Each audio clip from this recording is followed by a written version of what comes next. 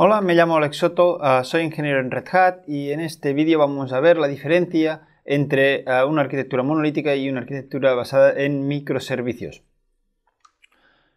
Brevemente, una arquitectura monolítica se puede uh, resumir con este esquema donde normalmente lo que tenemos es un frontend y luego tenemos todos de servicios que más que servicios son módulos que están integrados dentro de un desplegable, por ejemplo en el caso de Java podría ser un jar o un war, todos estos módulos están allí dentro y absolutamente todos están corriendo debajo de, eh, la misma ah, máquina virtual. De tal forma que toda la comunicación entre todos los módulos realmente pasa a, a memoria, entre ah, llamadas a métodos.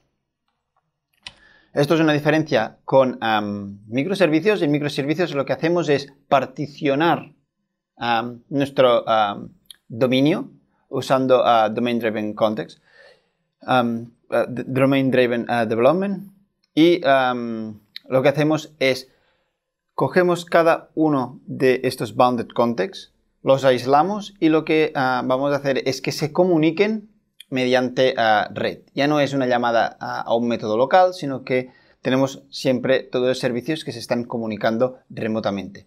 O sea, podemos ver que la arquitectura basada en microservicios es realmente una programación distribuida. ¿Y esto por qué? Porque tenemos la... creemos, mejor dicho, que con microservicios vamos a conseguir agilidad. Agilidad a la hora de llevar nuestra aplicación desde desarrollo hasta producción.